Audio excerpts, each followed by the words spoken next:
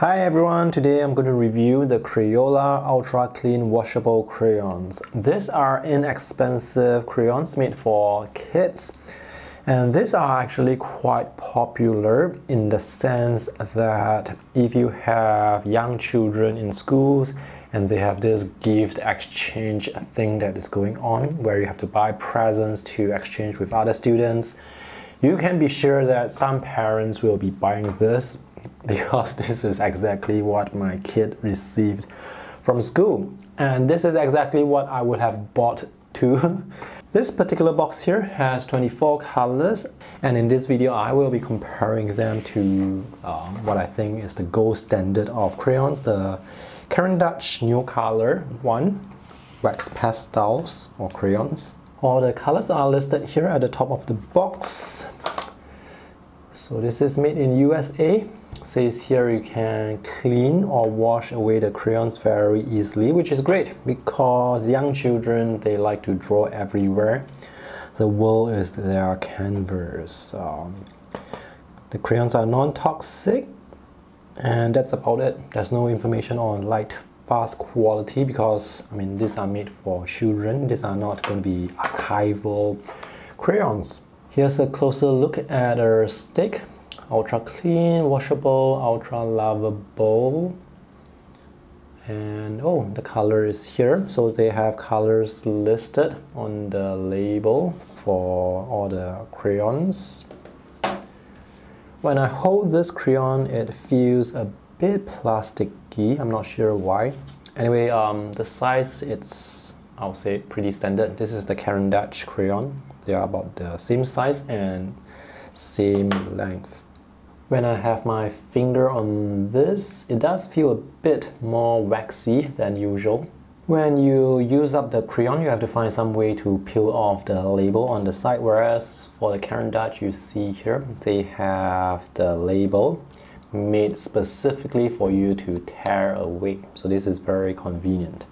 So I'm going to test the covering strength of the crayons first. Let's start with Crayola first. It does feel a bit more waxy than usual and as you can see it's rather transparent.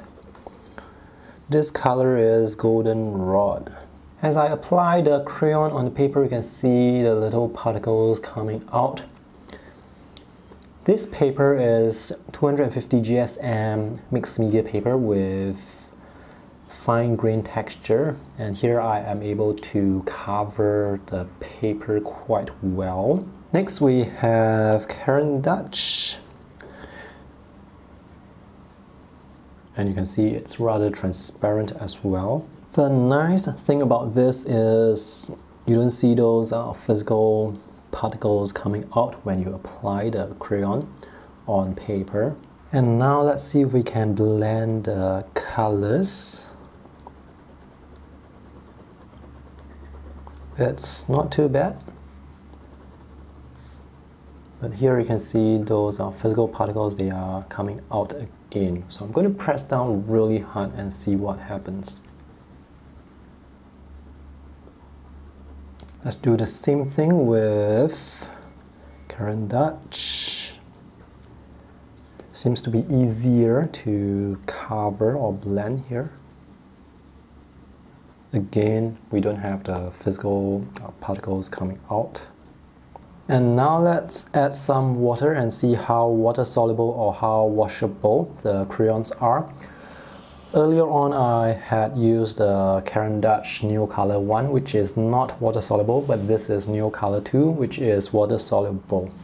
And for the water-soluble Caran d'Ache crayons, um, they are slightly more waxy compared to the non-soluble one, but not as waxy compared to the Crayola. Okay, let's apply some water.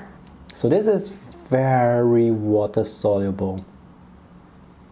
And you can see once the pigments, once they dissolve, the intensity, um, it's really fantastic. And this is the Crayola. does not dissolve as readily compared to the Caran d'Ache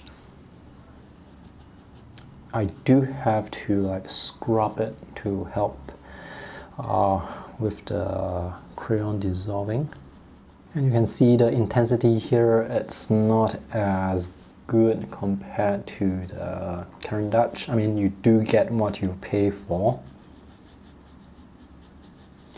And if I keep doing this I'm pretty sure the paper fiber will come off. I'm going to draw on this wet area first. And now I'm drawing on this wet surface. You can see the color, it's pretty intense again. This is the Crayola.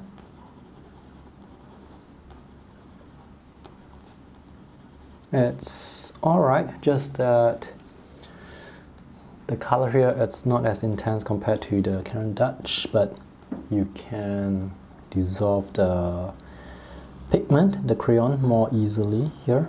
Let's see what happens when I mix colors here. Alright, um, very difficult for me to apply a second layer onto the Crayola. Here it really feels very waxy. With the Caran d'Ache, it's easier for me to mix the colors on the wet surface. So this is where you can see the difference in quality. These are meant to be water washable, not water soluble, even though they are water soluble. But it's really for you to wash the crayon off your sofa, your curtains, your wall easily. And because these crayons are so inexpensive you won't feel the heartbreak when your kid breaks the crayons into small pieces like mine did with the Caran d'Ache. For drawing, they work quite well.